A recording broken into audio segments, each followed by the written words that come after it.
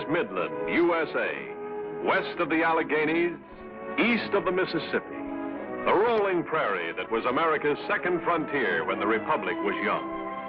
When the new nation could not be sure it had the strength to stand or the will to live. Along this lake that washes the shores of western New York State and a corner of Pennsylvania, on this soil that became the states of Ohio, Indiana, and Illinois, history was made. Here America grew to a sovereign nation that drew strength and confidence from the farm, the mines, and the factories of this territory. From Buffalo to Chicago, from Cleveland to St. Louis and Peoria, and such cities as Ashtabula, Erie, Massillon, Fort Wayne, Indianapolis, Zanesville, Kokomo, place names that spell America.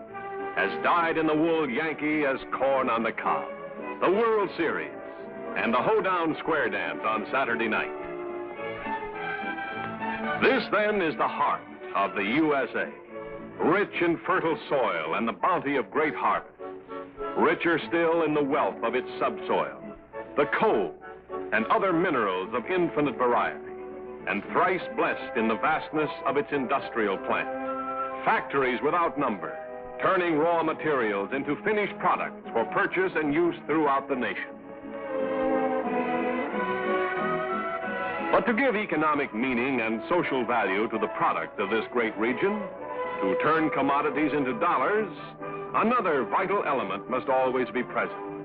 Transportation by rail, keystone in the economic structure of Midland, USA. To move farm produce from the land to the tables of our people. To haul our coal, iron ore, and other raw materials from the mines and shipping docks to our mills and factories. To transport finished products from industrial centers to consumer markets. This has been and is today the job of the Nickel Plate Road. Today, the Nickel Plate Road is inseparably a part of the territory it serves, integrated into the pattern of its industry, its agriculture, and its way of life. For shippers, an originating and terminating line throughout Illinois, Indiana, Ohio, northwestern Pennsylvania, and western New York State.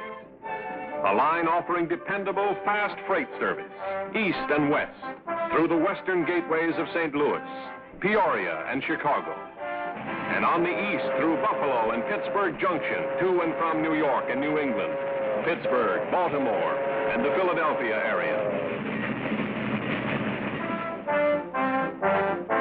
Passenger travel, east and west, the most up-to-date diesel-powered trains, offering luxurious comfort for sleeping and daytime travel. Six convenient silver and blue streamlined passenger trains. Gracious living in diner or lounge with courteous but unobtrusive service when you want it. This is first-class hotel luxury in convenient service between Chicago and Buffalo and between Cleveland and St. Louis. Connecting at Chicago and St. Louis for the West and the Pacific Coast and with through service at Buffalo for New York and other points east. Diversification is the key word for the territory served by the nickel plate.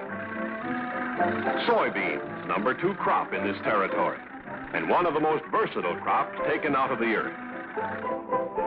Today, almost half of all the soybeans produced in the United States are grown within 25 miles of the road's rail system. Throughout this area, rich and varied natural resources. Clay for pottery, fire brick, limestone, dolomite for furnace and refractory operations, silica and foundry sand.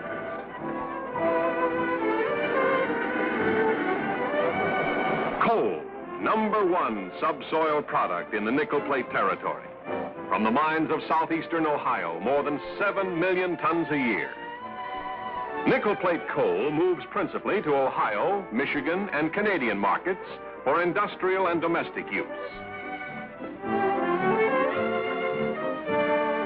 A considerable tonnage also moves to the company's coal dock at Huron, Ohio, for transshipment up the Great Lakes.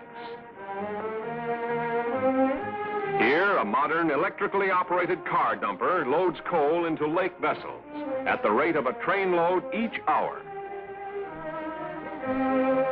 In recent years, millions of dollars have been spent to enlarge the road's coal car fleet and to modernize dock facilities for the handling of waterborne traffic at Huron.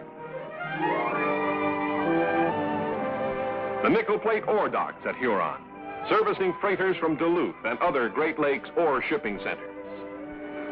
Immediately on arrival, any time during the day or night, nickel plate Hulett ore unloaders go to work. Each bucket handles 17 tons at every bite, unloading a large ship in a few hours. Within a surprisingly short time, that ore has been way-billed, assembled into trains, and is on its way to iron and steel plants in Ohio, West Virginia, and Pennsylvania. The nickel plate territory, forming a pattern of industrial enterprise unmatched in any other sector of the country for the value and variety of its products.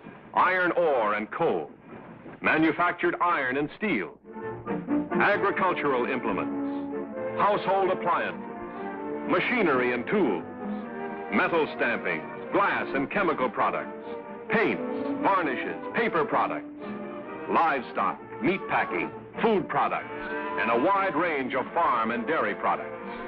All these products and many more from the farms, the mines, and the factories make up the highly diversified traffic of the Nickel Plate Road. Products that are picked up at the country stations, the towns, and the big cities and hustled to the nearest division points to be consolidated into high-speed through trains for delivery to the consumer markets of the nation.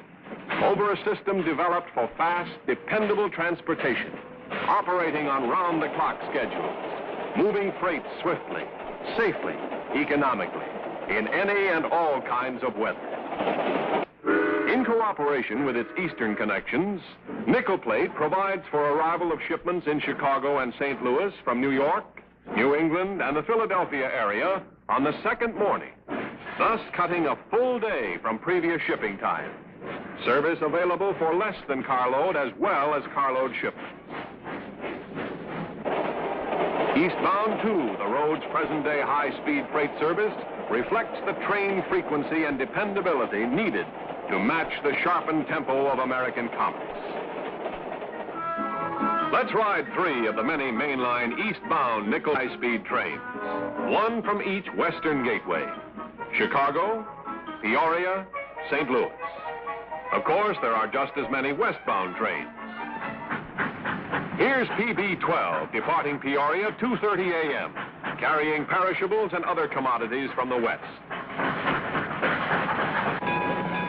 At the same time, 2.30 a.m., down in the St. Louis terminal, Nickel Plate's ST-96 pulls out with product of the St. Louis area and the great Southwest, heading north and east.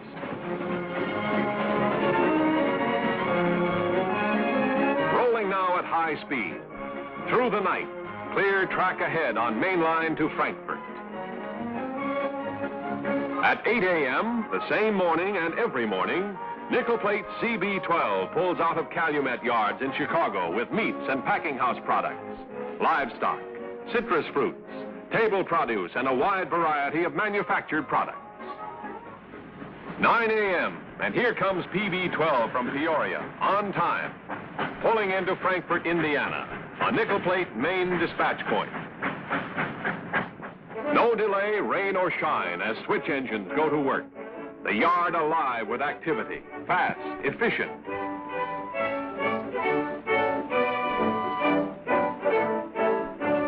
9.45 a.m. and ST-96 in on time from St. Louis.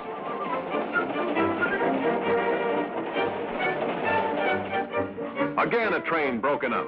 Cars switched, classified according to destination. Some via Michigan City for points in western Michigan, such as Grand Rapids. Some via Toledo or other gateways for Detroit and eastern Michigan.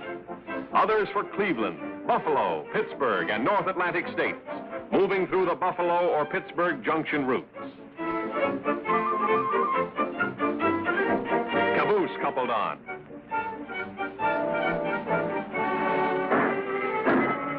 blast from a 700 engine. And PB-12 pulls out of Frankfort at 10.45 a.m.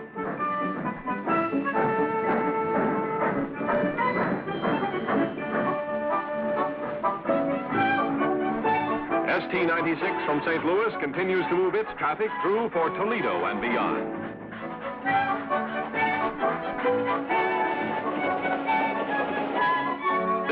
Bellevue, Ohio, main classification and division point of the Nickel Plate Road, handling thousands of cars a day, east and westbound.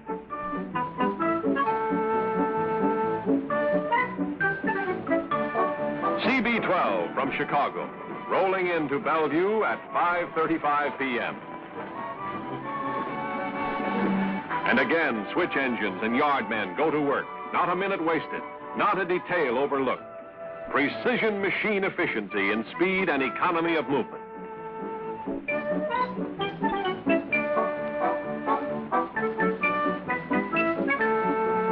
Forty minutes later, at 6.15 p.m., arrival at Bellevue of PB-12 from Peoria and Frankfort.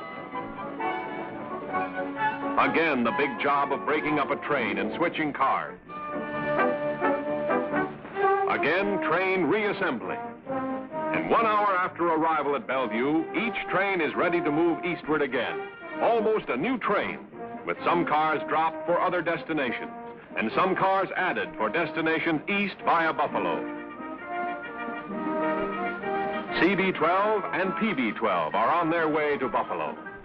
Rolling through the night via Lorain, Cleveland, Painesville, Ashtabula, Conneaut, Erie, Dunkirk, Buffalo. Two trains almost together. CB-12 from Chicago, PB-12 from Peoria, with pickup cars from St. Louis, arriving early morning, 4 a.m., to connect with Eastern lines for New York, New England, and the Philadelphia area. Time en route from Chicago to Buffalo, distance 508 miles, time 19 hours. From Peoria to Buffalo, distance 647 miles, time 24 and a half hours. From St. Louis to Buffalo, distance 709 miles, time 24 and a half hours. How is such a standard of high-speed freight service attained and maintained? By teamwork and keeping in step with the times. Teamwork among nickel platers, teamwork with shippers, and teamwork with connecting railroads. And of great importance, a comprehensive program of improvement involving expenditure of millions of dollars every year for roadway, bridges, yards, and terminal improvements. Radio installation in locomotives and cabooses and all kinds of mechanical devices. Widespread installation of centralized traffic control. All of these and other improvements result in the cutting down of time in transit and the expediting of high-speed freight and passenger service.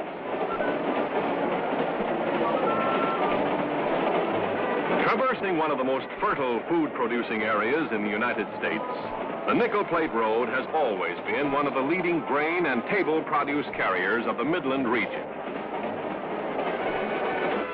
In Cleveland, a notable landmark of the Midland food belt, the Northern Ohio Food Terminal, served exclusively by nickel plate, a yard with a capacity for hundreds of cars, acres of steel, brick, and concrete buildings, including huge cold storage facilities.